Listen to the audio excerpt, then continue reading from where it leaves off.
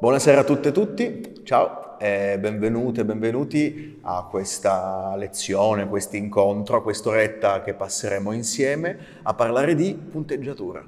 Punteggiatura che vuol dire ritmo, vuol dire melodia, vuol dire suono, vuol dire sintassi, vuol dire struttura di una frase, quindi eh, a campo largo anche struttura letteraria di romanzi, libri, testi.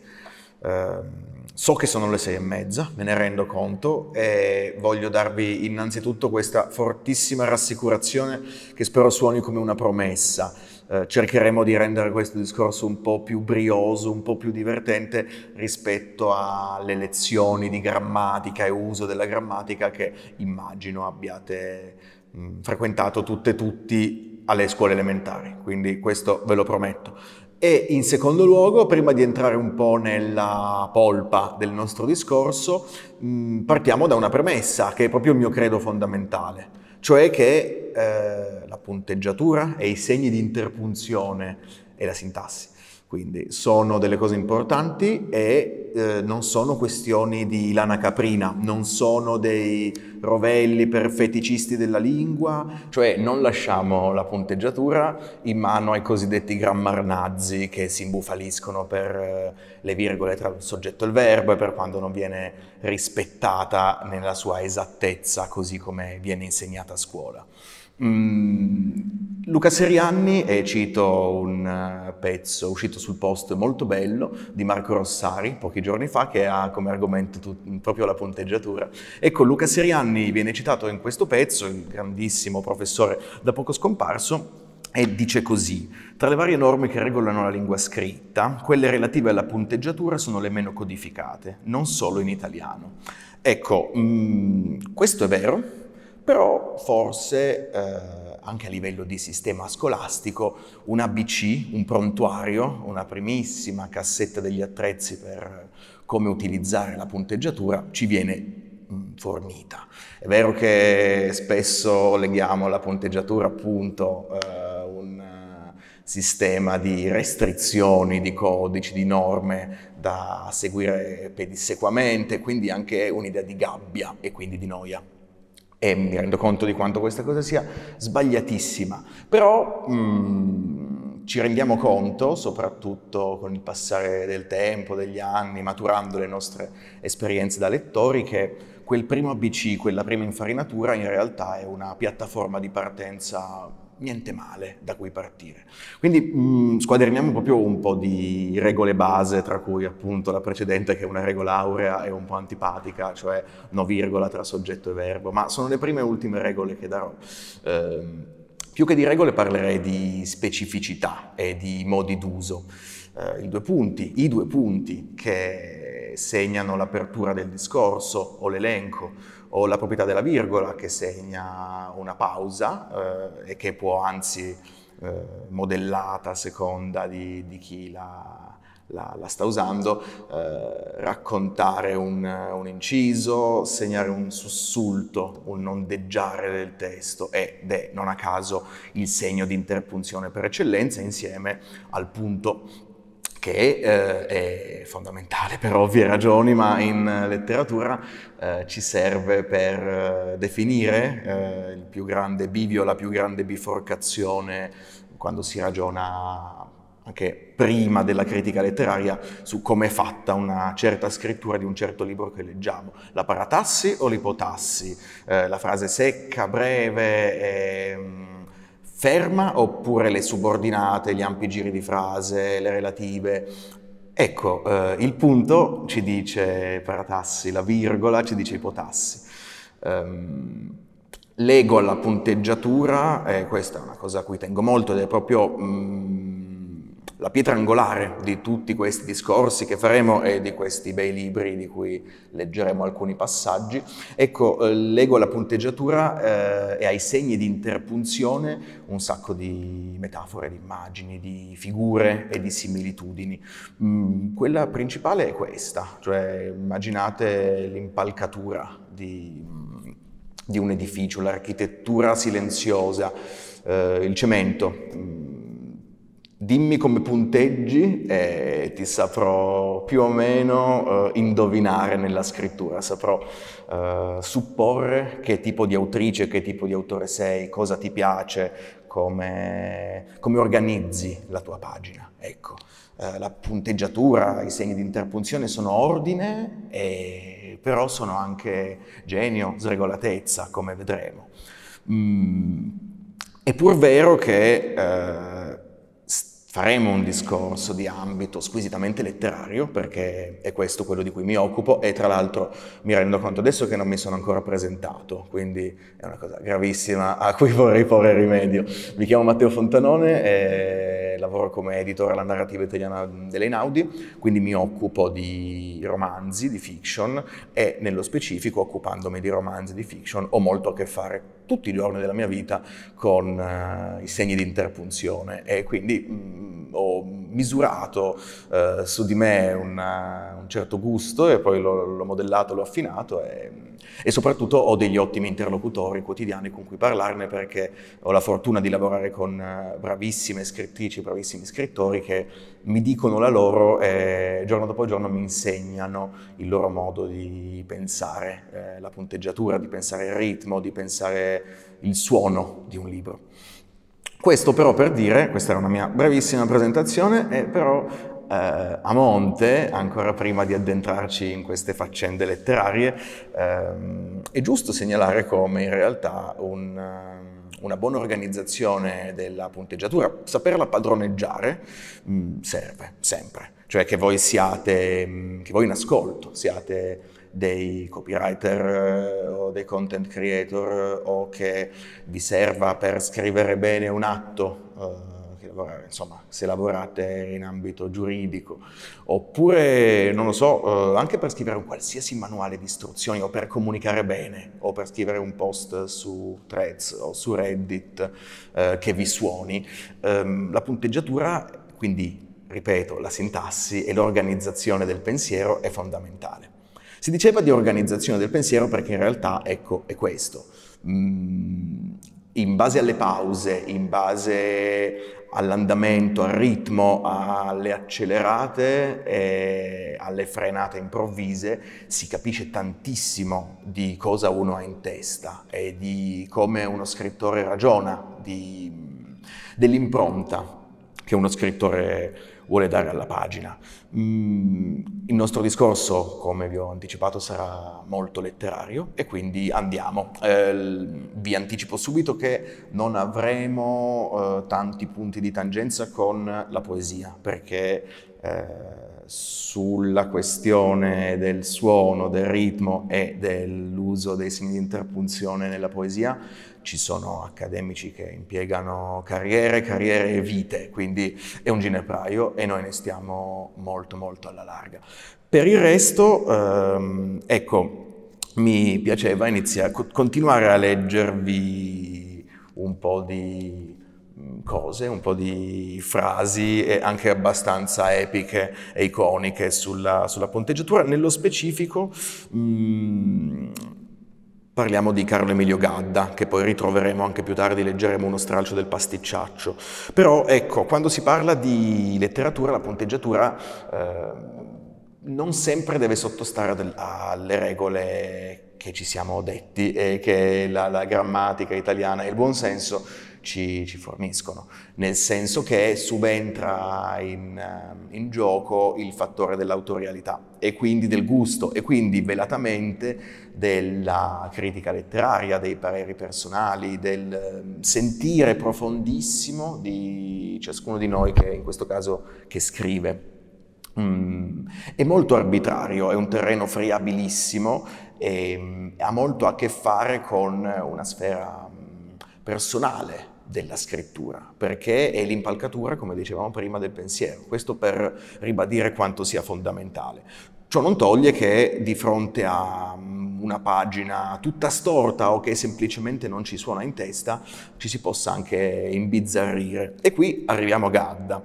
Gadda che diceva, ehm, a proposito di un libro che non ci è dato conoscere, una vaga disseminazione di virgole, di punti e virgole, buttati a caso, qua e là, dove vanno vanno, come capperi nella salsa tartara. Ecco, mm, questo per dirvi che la punteggiatura è un qualcosa di vitalissimo, ci si può accapigliare, ci si può innervosire come eh, l'ingegner Gadda ha appena fatto quando ci troviamo di fronte a una pagina che proprio non non ci suona e che non ci parla, che non ci coinvolge o anzi, ancora peggio, che ci sembra tutta storta e sbilenca come una di quelle stamberghe fatte di niente, di quattro assi di legno impilati, inchiodati. E, ehm, dicevamo il ritmo, la sintassi, la punteggiatura. Il ritmo per chi scrive, e chi scrive lo saprà bene, benissimo, è tanto, è quasi tutto. Eh, certo, è vero, bisogna prima avere un po' di materiale in ballo, no? bisogna avere una storia, bisogna avere una certa idea di, come usare il proprio lessico, bisogna avere anche di fronte a libri poi mastodontici una gamma, un ventaglio di, di, di parole preferite, però bisogna saper fare tante cose per scrivere un romanzo, disporre gli elementi, ehm, calibrare la trama, mh, mm, costruire, allestire l'intreccio, è una questione di dosaggio, di equilibrio, però, però, però a monte rimane la pagina, rimane la frase, rimangono i connettivi tra una frase e l'altra e non esiste un connettivo migliore nella lingua scritta che il segno di interpunzione. Mm, oltre al ritmo, la punteggiatura, tra l'altro, è espressiva, mm, è indice, è vettore di, di espressività. Pensiamo ad esempio alla secchezza di un punto fermo in un discorso diretto quando non ce lo aspettiamo. Mm, un personaggio sta parlando a un interlocutore che ha eh, ritrovato dopo tantissimo tempo ed è entusiasta, ricorda i vecchi tempi, però qualcosa tra di loro è cambiato. E allora che succede? Il punto fermo. Eh, di fronte ai punti esclamativi del personaggio A, i punti fermi, tombali, cimiteriali del personaggio B. Questo è uno dei, degli esempi possibili. Um, oppure, ecco, um, a proposito di esempi, prendo in prestito un, un, pezzo uscito la scorsa estate su Doppio Zero a firma di Isabella Pasqualetto, che è traduttrice e critica letteraria. E um, in questo pezzo uh, fa notare una, un passaggio rivelatorio, cruciale e secondo me bellissimo, da Cime Tempestose, che è un libro che suppongo in molte, molti di voi abbiate letto o che comunque più o meno conoscete per, per sentito dire e, ehm, il capolavoro di, di Emily Bronte e, ehm, racconta di due case che si guardano, sono separate da un po' di chilometri di brughiera, si sviluppa tutto lungo questa linea retta, da una casa all'altra, è un'oscillazione, un pendolo continuo. Mm, a un certo punto Catherine, che è una delle protagoniste, anzi la protagonista, eh, per varie circostanze si trova a dover passare qualche mese non a casa sua, che è Wuthering Heights, ma a, mi perdonerete la pronuncia, a, Trasco, a Tash Cross Grange, che è la, la, la, la casa dei nobili, di rimpetto a quest'altra famiglia. Una casa è la luce, l'altra casa è il buio. Wuthering Heights è parte scomposta, eh, urlata, e l'altra casa invece Tashkros è il, ehm, il, insomma, il luogo in cui tutto è in armonia, in cui c'è pace, in cui ci si vuole bene senza sussulti, senza scossoni. Ecco, mh, qui nel passaggio che, che vi leggerò vediamo come tutti i piani diabolici del cattivo più cattivo per eccellenza, che è Heathcliff, eh, nascono in realtà da una virgola. Eh, uso la, tra, la, nuova traduzione nei Super Coralli Inaudi di Monica Pareschi. E leggiamo. Mm. Qua è Catherine che per la prima volta dopo mesi vede Heathcliff e gli si rivolge. Prestiamo, prestate molta attenzione perché secondo me è piuttosto incredibile. Gli dice, mm, oddio, come sei nero, e che broncio, e che aria losca e buffa che hai. Ma è perché ormai mi sono abituata a Edgar, virgola, e a Isabella Linton. Ecco, capite come questa virgola dopo Edgar isoli Edgar. Mm, lo isoli e lo, lo, certifichi e lo autentichi nel, nel, nella sua mm, eccezionalità rispetto alla sorella Isabella. E quindi nella sua eccezionalità, nel cuore, nella memoria, nel, nei pensieri di, di Catherine. Ed è questa virgola, se vogliamo romanzare un po', che mm, attiva eh, il lato demoniaco di Heathcliff. Qualche anno dopo Charlotte, la sorella di, di Emily Bronte, eh, si sarebbe occupata di un lavoro di riscrittura e di editing, possiamo dire. Eh, la sua sorella eh, usava fin troppe virgole e quindi Cime Tempestoso è stato per così dire, normalizzato. Questa virgola qua era stata tolta ed è un peccato mortale perché eh, una virgola, in questo caso, è una um, sofisticheria, una sottigliezza e anche un'altezza letteraria così incredibile che qui, su una semplice piccolissima innocua virgola, possiamo dire che si incardina tutto il libro. Ecco, a me sembra una cosa piuttosto straordinaria, diciamo.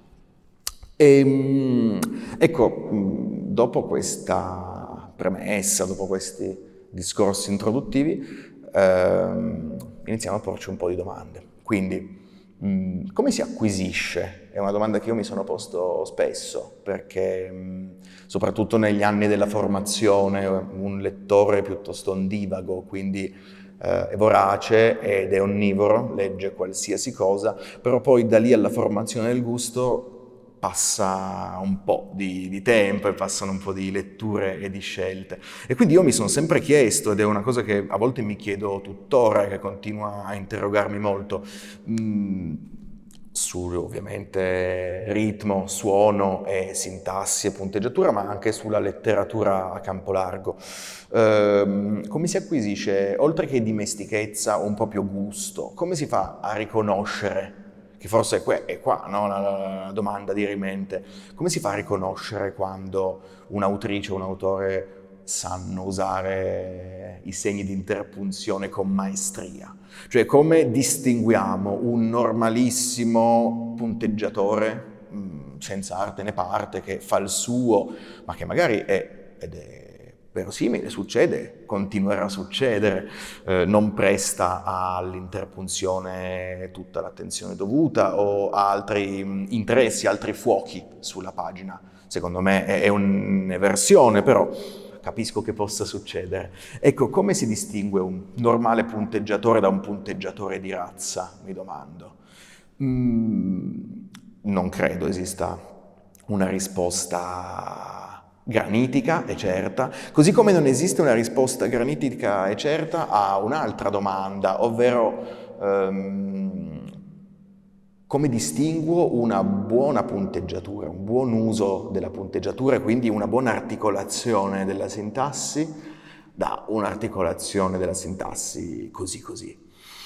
Ecco, eh, non ci sono regole auree e quindi qua torniamo forse a Serianni, no? che in parte aveva ragione mh, mm, abbiamo un bagaglio, mh, mm, però è molto avviluppato in noi stessi, cioè abbiamo una, una serie di regole, le usiamo, però poi quando intervengono motivi di gusto e, e anche quando in, ci viene chiesto di distinguere e di riconoscere, facciamo un po' più di fatica.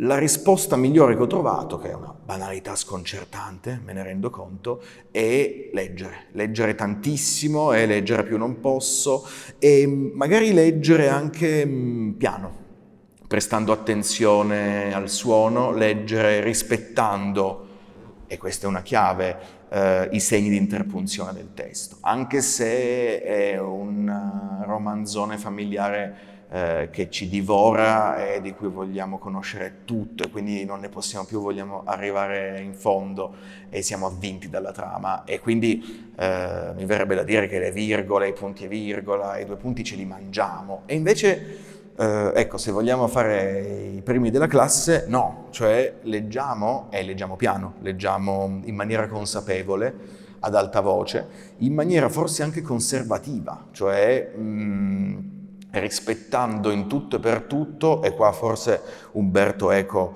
eh, mi verrebbe da dire, eh, ha un fremito nella tomba, eh, rispettando in tutto e per tutto le volontà dell'autore, cioè ehm, prestando ascolto alle variazioni, prestando ascolto alle virgole, alle pause più o meno lunghe, mh, mm, affidandoci per davvero al suo giro di frase, non dubitandone anche quando ci sembra che sia storto o sbilenco, anche quando ci sembra che ci porti su un piano inclinato che non sappiamo più dove andare. No? È, ehm, ad esempio è la magia di tantissimi scrittori che eh, dopo righe, righe, righe, soprattutto quelli che appunto subordinano, dopo tantissime righe eh, ci lasciano con una sorta di labirintite, poi arriva un colpo di bacchetta magica e la frase all'improvviso prende chiarezza. Ecco, eh, queste scritture, soprattutto quando abbiamo di fronte della letteratura che,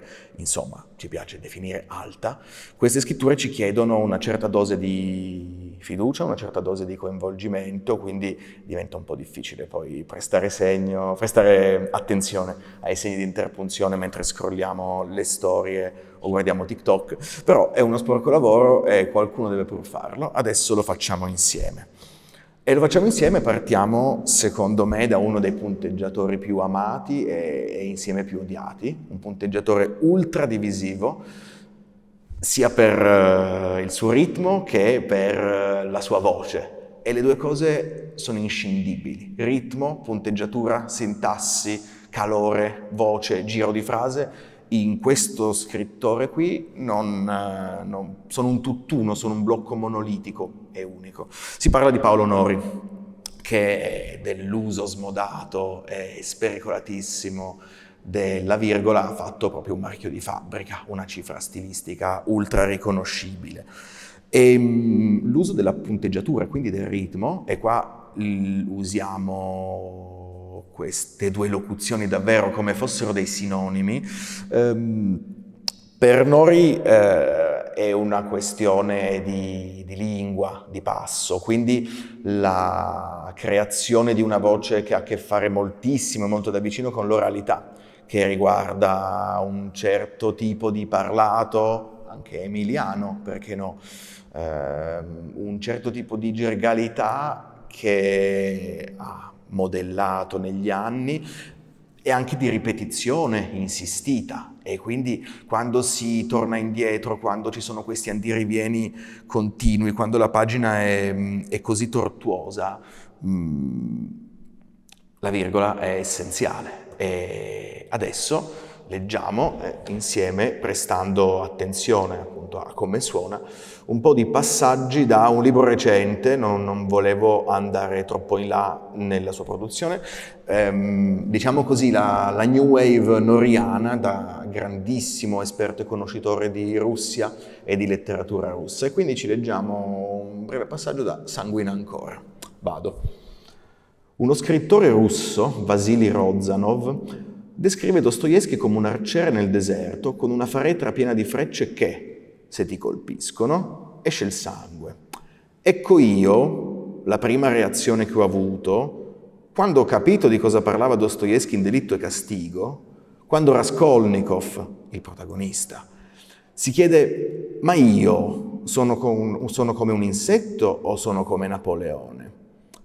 Ecco, quella domanda, io quindicenne, Me la sono rivolta anch'io, ma io, mi sono chiesto, sono come un insetto o sono come Napoleone? E ho avuto, me lo ricordo perfettamente, la sensazione che quella cosa che avevo in mano, quel libro pubblicato 112 anni prima a 3000 km di distanza, mi avesse aperto una ferita che non avrebbe ta- smesso tanto presto di sanguinare. Avevo ragione, sanguina ancora. Perché?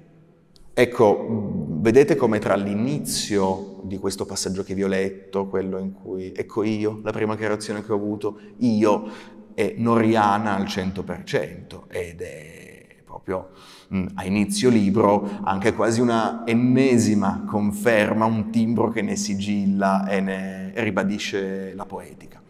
Mh, rispetto a quest'ultimo passaggio che invece abbiamo visto, e ho avuto, me lo ricordo perfettamente, la sensazione che quella cosa che avevo in mano, quel libro pubblicato, mh, mm, è molto più noriano. Quest'ultimo passaggio lo definirei quasi normalizzato, perché in, uh, in coda a, a, al, al, paragrafo aveva evidentemente bisogno di velocità. Quindi da un lato abbiamo eh, appunto la sua tradizione linguistica, di passo, di stile, dall'altro abbiamo mh, un'istanza mh, da ingegnere testuale.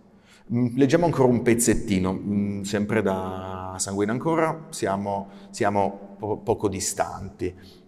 Questo libro, attraverso il racconto dell'incredibile vita di Fedor Mikhailovich Dostoevsky, ingegnere senza vocazione, traduttore umiliato dai propri editori, genio precoce della letteratura russa, nuovo Gogol, meglio di Gogol, aspirante rivoluzionario miseramente scoperto e condannato a morte, graziato e mandato per dieci anni in Siberia a scontare la sua colpa, riammesso poi nella capitale, quella Pietroburgo il cui mito, con le sue opere, contribuirà a costruire la più astratta e premeditata città del globo terracqueo, secondo una celebre definizione del suo uomo del sottosuolo. Giocatore incapace e disperato, scrittore spiantato, vittima di editori cattivi, marito innamoratissimo di una stenografa di 25 anni più giovane di lui, padre incredulo che scrive un amico abbiate dei figli, non c'è al mondo felicità più grande, pazzo benedetto che mette per iscritto le domande che tutti noi ci facciamo e che non osiamo confessare a nessuno. Uomo dall'aspetto insignificante, goffo, calvo, un po' gobbo, vecchio fin da quando è giovane, uomo malandato, confuso, contraddittorio, disperato, ridicolo così simile a noi che riesce a morire nel momento del suo più grande successo attraverso il racconto di questa vita romanzesca. Questo libro che crede di essere un romanzo prova semplicemente a rispondere a quella domanda. Perché? Perché sanguina ancora? Ecco, qui abbiamo eh, attraverso l'uso insistitissimo della virgola una frase che si avvolge, che non riusciamo più a seguire, quanto dicevamo poco fa, no? A un certo punto ci perdiamo, cioè pensare di eh, isolare la frase, di fare un'analisi del periodo è una scelleratezza. Qua noi ci affidiamo e mh, seguiamo Nori come fosse la nostra guida di alta montagna.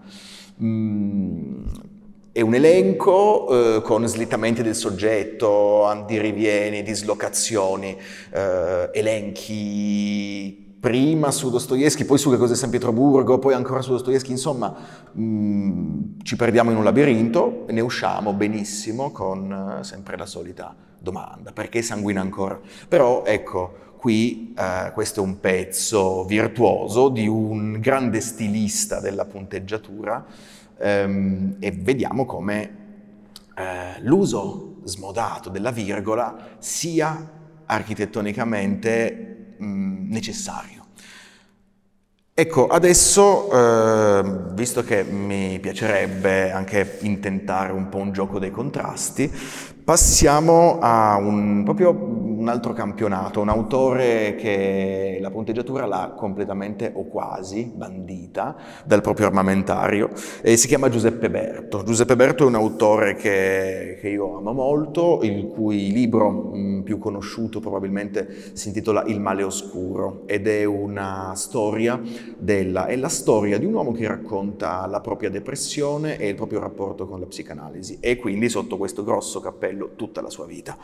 Eh, ecco, dalle contorsioni di Nori abbiamo qui una, mm, una pagina diversissima, eh, ve ne renderete subito conto, perché qui Imberto, eh, la, le, i segni di interpunzione mh, mm, quasi non esistono è una similitudine, una figura un po' spericolata, ma mi verrebbe da dire che eh, leggere il male oscuro è un po' come guidare senza cartelli segnaletici, senza indicazioni su dove fermarsi, a chi dare la precedenza, dove uscire mh, mm, se siamo in autostrada.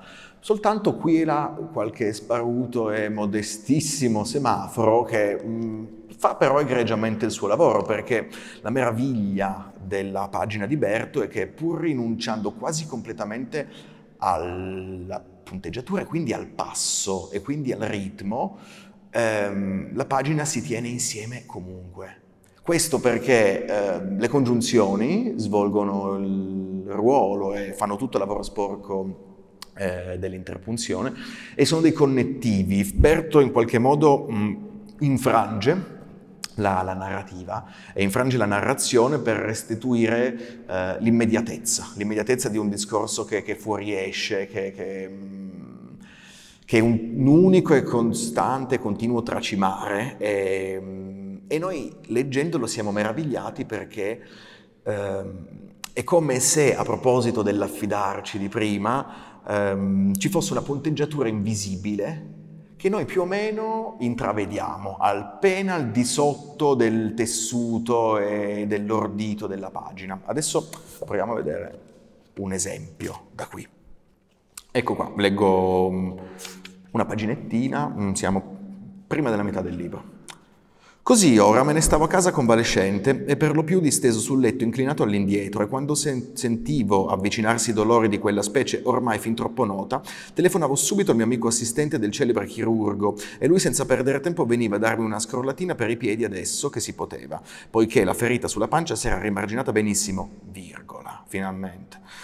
E quando la scrollatina non risolveva il caso, allora un'iniezione di morfina metteva tutto a posto, per quanto provvisoriamente si capisce. Anzi, siccome le scrollatine non è da dire che fossero molto spesso efficaci, io talvolta non telefonavo nemmeno all'amico mio, che le aveva per così dire inventate, ma al medico di casa, che infine era tornato da Chianciano tutto contento dopo la lunga stagione, virgola.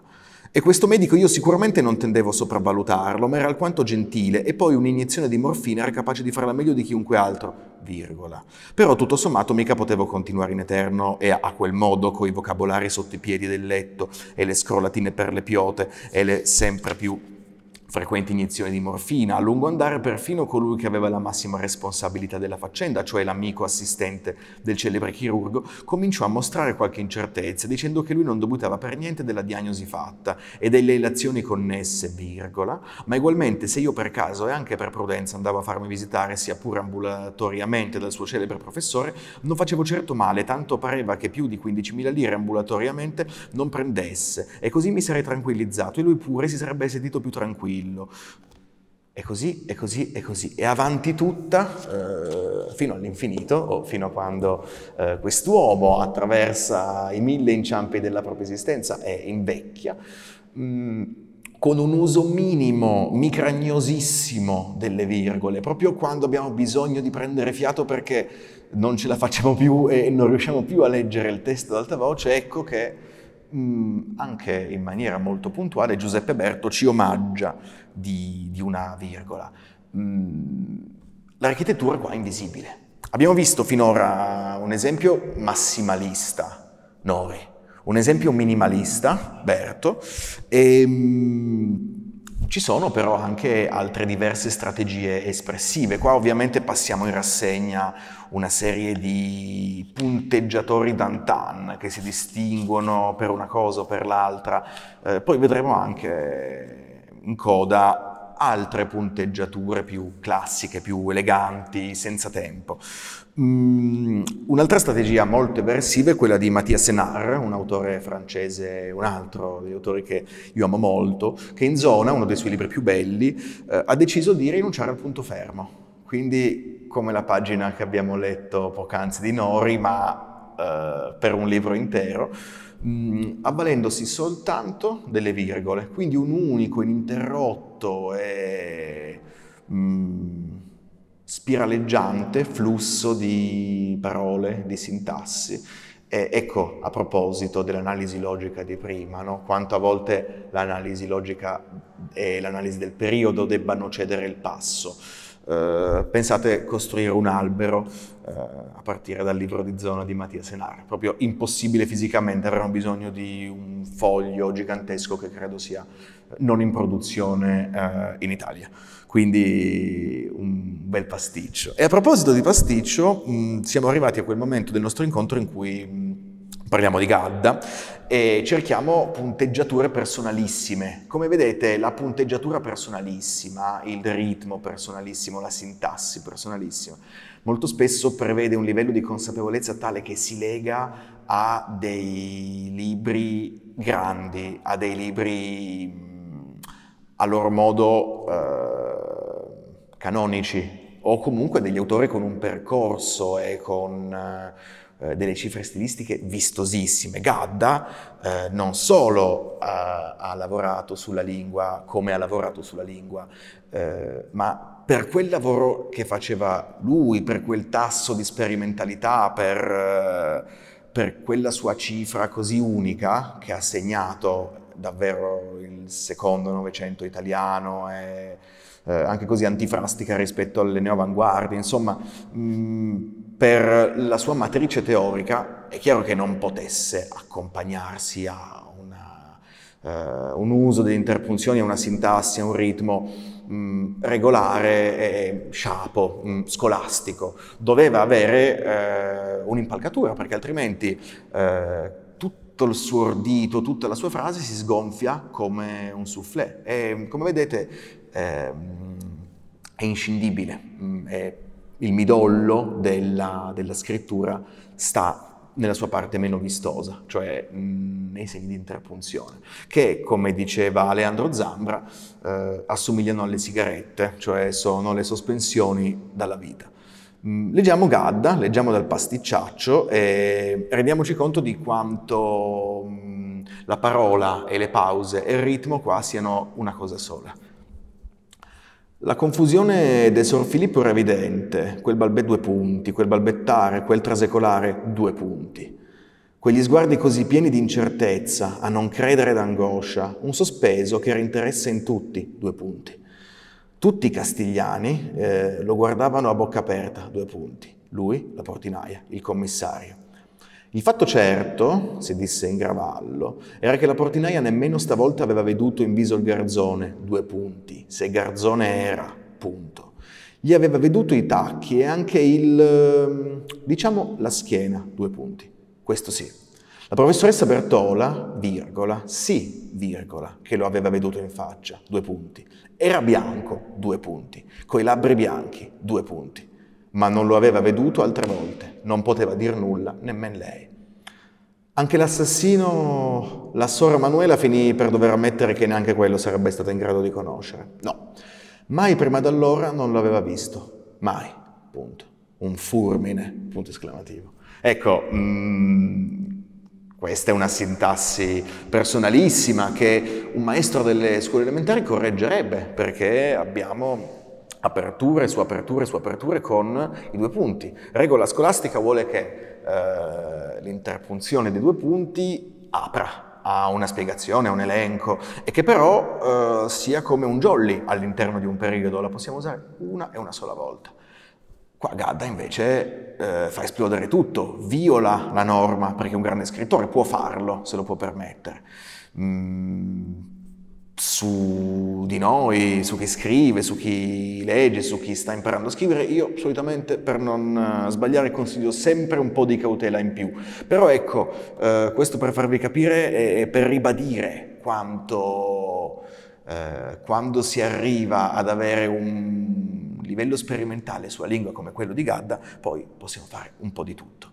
Eh, sempre tra gli stilisti, come Gadda, vorrei anche ricordare Il viaggio al termine della notte di Céline, nella splendidissima traduzione italiana di Ernesto Ferrero, eh, che non leggeremo perché, lo dico con candore, non sono stato in grado di individuare una pagina abbastanza singolare come questa trafila di due punti che abbiamo appena letto, ma va valutato forse facendo qualche passo all'indietro, no? quindi guardandolo nel suo insieme. Un altro esempio di come ehm, la lingua sia legatissima al ritmo. Non esiste eh, lingua senza ritmo, senza sintassi, per chi fa letteratura. Ecco, adesso, visto che ci abbiamo verso la conclusione, mi ricordano dalla regia che eh, vi inizio a anticipare questa cosa. Mm, possiamo, eh, potete anzi lasciare qualche domanda nel box che dovreste avere eh, qui eh, su YouTube. E mh, mm, alla fine di, di, questo nostro incontro io le guardo e ne parliamo. E magari se siete ancora in diretta possiamo pure interagire, quindi mh, mm, sarebbe proprio il massimo, eh, però eh, adesso ci avviamo verso, verso, la fine e lo facciamo con, uh, cambiando modelli, nel senso che adesso prendiamo, eh, qua intervengono proprio questioni di gusto molto mie, molto personali, e prendiamo eh, la parte apollinea. Finora siamo stati molto dionisiaci, cioè eh, abbiamo parlato di letteratura di ritmo, di sintassi, di interpunzione attraverso esempi mh, forti, nettissimi, che ci restituissero idee altrettanto nette e forti di, di come gli scrittori modulano e, mod- e le scrittrici, scusate, modulano e modellano in base all'interpunzione e come la musica alla fine. Eh, sosteneva Pascoli, ed è stato il primo di una lunga serie a farlo, che per lui prima venisse il suono, cioè prima era tutta una questione di metrica, quindi ehm, prima di scegliere le parole aveva già una filastrocca, un ritmo, una melodia in testa. Dopodiché eh, discorso di ricerca linguistica, di ricerca stilistica, e le parole via via si, si addensavano, si agglutinavano, però prima di tutto c'è il ritmo. E, um, ci sono alcune scrittrici, alcuni scrittori uh, che il ritmo ce l'hanno dentro. E, um, e che hanno un'idea di ritmo, di compostezza, eh, come vi dicevo prima, apollinea. E, Qua abbiamo a che fare con eh, l'eleganza, con eh, la grazia, con eh, un certo modo virtuosissimo, ma che non ha bisogno di urlare, di usare i segni di interpunzione. E il mio punteggiatore preferito, ed è un autore a cui sono molto legato, un autore tra l'altro eh, riscoperto fortunatamente in questi anni, ed è Daniele Del Giudice Qua vi leggo un passaggio magnifico da un libro magnifico che si chiama Atlante Occidentale, eh, che secondo me qualsiasi giovane scrittrice, qualsiasi giovane scrittore dovrebbe sfogliare, se non altro, perché eh, se siete alla ricerca di un modello di eleganza, di esattezza, di eh, limpidezza della pagina, ecco, del giudice c'è. E, ehm, Qua provo a fare una lettura un po' mista, nel senso che del giudice attinge a tutte le possibilità espressive dell'interpunzione. Di conseguenza, quando sono piuttosto sicuro di farvi capire anche senza suggerire, eh, non dico niente. Quando invece voglio segnalarvi qualcosa in particolare, mi perdonerete, ma eh, capirete che insomma non si tratta della prosa di del giudice, ma di una mia nota. E l'ottavo capitolo eh, inizia in questo modo. Posso invitarla a bere qualcosa in città? aveva detto Epstein alzandosi dal tavolo dello studio. Gilda aveva dato un'ultima occhiata ai fogli che stava leggendo, virgola. Aveva detto, due punti, aperte virgolette, in un posto elegante, chiusi virgolette, punto e virgola. Epstein aveva sorriso, due punti, in un posto da tagliare. Certi giorni il lavoro finiva così, di colpo, punto e virgola. Magari Gilda aveva sollevato una questione importante ed Epstein restava in silenzio per un po', virgola. Poi diceva, vengo con lei in città se mi dà un passaggio. E questo significava che il lavoro era finito e a seconda del, dell'ora potevano pranzare o bere qualcosa, o avrebbero fatto soltanto la strada insieme se Gilda aveva altri impegni, virgola. Poi Epstein sarebbe tornato a piedi a Belle Rive camminando.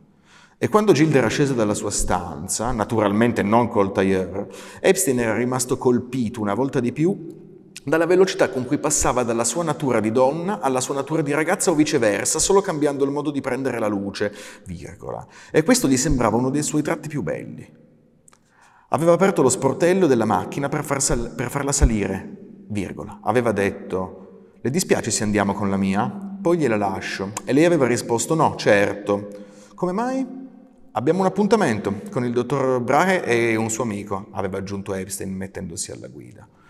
Ecco, mh, mm, vedete che eh, spero anzi di essere stato in grado di restituire un po' di questa mm, eh, modalità espressiva di del giudice, di questa mh, mm, innata esattezza. E sembra che le virgole, i punti e virgole, i due punti siano nati prima del testo, cioè che il testo non potesse che andare così, nonostante ci siano scelte eclettiche alle volte, ma elegantissime e, e anche minimal in una certa misura. Del giudice è un autore che non rinuncia al punto e virgola e così io vi invito a fare.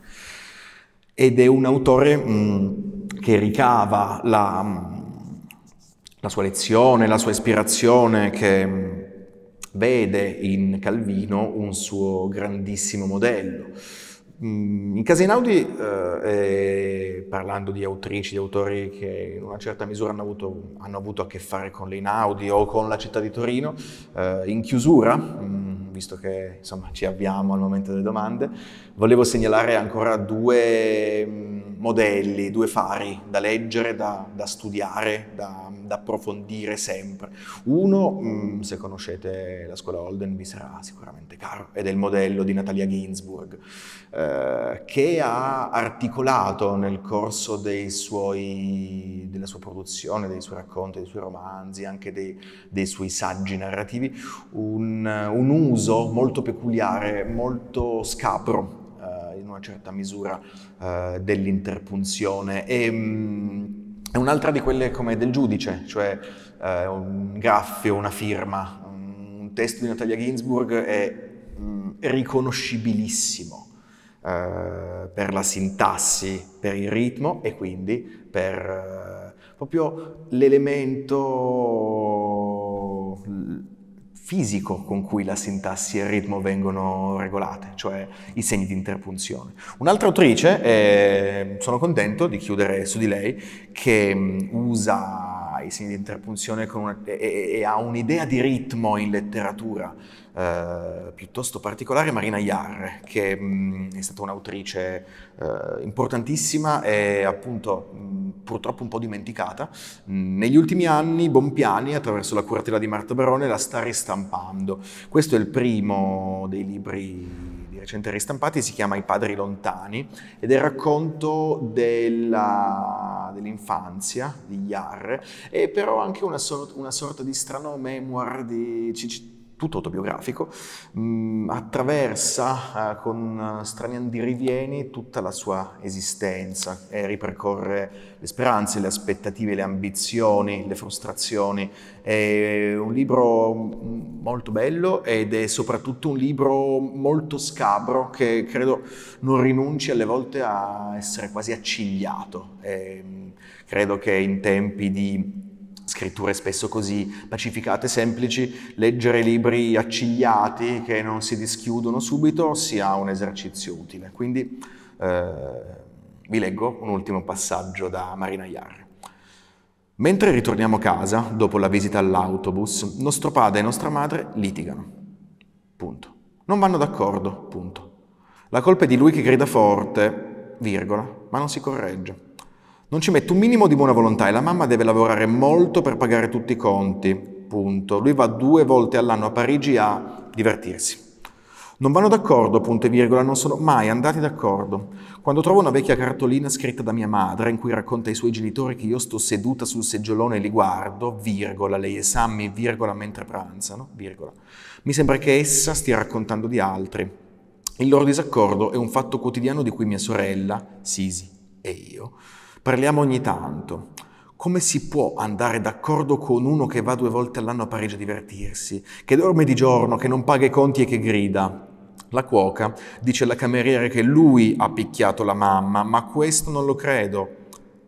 Poi, però, quando lui incomincia a gridare, temo sempre che avvenga. La mamma è molto coraggiosa, gli tiene testa quando lui grida, d'altronde tiene testa a tutti, persino ai doganieri, mentre frugano nelle nostre valigie. Lei li insulta. Ecco, mh, mm, è chiaro che da una lettura, tra l'altro nemmeno professionale come la mia, eh, a volte sia più difficile arraffare lo specifico e il genio di un testo. Um, però è una questione, ed è con questo che vi vorrei salutare prima delle domande, è una questione di andamento, di ritmo, di improvvise accelerate, di tentennamenti, di pause, di sussulti. Mm, la letteratura ha in sé storicamente una matrice teatrale. Mm, ha in sé una fisicità, una corporeità. E mm, io sono profondamente convinto, anche se non ho ancora capito bene eh, come dirlo, sono profondamente convinto che questa corporeità siano le virgole, i punti virgola, i punti esclamativi, i tre punti di sospensione, i due punti, sia il ritmo, sia la melodia, il suono e la musica, perché è con il ritmo, con la melodia, con il suono e con la musica che si costruisce una pagina ed è l'architrave silenziosa e spesso sacrificata di tutta la letteratura. Quindi eh, chiuderei prima di chiacchierare un po' con voi, chiuderei con un appello, cioè vogliate un po' di bene, per favore, alle vostre virgole e cercate di usarle secondo coscienza innanzitutto, ma anche con molta, moltissima personalità perché se lo meritano, quindi coccolatele. E adesso vediamo un po' se ci sono domande. Ci sono domande, wow. Uh, allora, mh, mm, Francesca dice, oltre all'esattezza, restituisce in modo, in modo esemplare il vivere dei protagonisti nella loro interazione. Sembra di essere lì. Mm, eh, si riferisce a Gadda, grazie mille per averlo appuntato, sì, sembra di essere lì e ha a che fare da vicinissimo con l'immediatezza, con eh, le pause, con un certo indugiare su una scena del crimine strana di cui non sappiamo bene e, e lo stesso Ingravallo non sa benissimo cosa pensare. Mm, è un pasticciaccio, eh, tutti c'entrano e nessuno c'entra. Poi, come sappiamo, sulla letteratura di Gadda il giallo è pretestuoso, perché il giallo è un paravento che poi là a tantissime altre cose e delucubrazioni, a una letteratura vertiginosa. Però sì, siamo in un appartamento c'è una vittima e, mm, e questo, questa continua ricerca di, di, verità, ecco, se vogliamo fare un volo pindarico, ci viene restituita da, questo accumulo sintattico dato dai due punti. Eh, come se fosse fortissima l'istanza di una certa chiarezza, che poi tra l'altro non arriva neanche.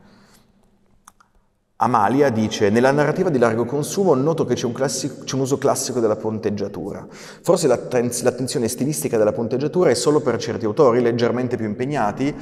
Uh, sì, nel senso che... Um, c'è una narrativa che tu hai ben definito di consumo, in cui gli autori stessi non eh, presentano ai loro lettori né ai loro interlocutori in fase di lavorazione di, del libro, di scrittura, di progettazione del libro, delle particolari istanze stilistiche. La narrativa di consumo è una narrativa che io trovo dignitosissima e che alle volte amo leggere mh, mm, e non va demonizzata, ed è una narrativa il cui obiettivo primario è quello di farsi capire, di divertire, di intrattenere.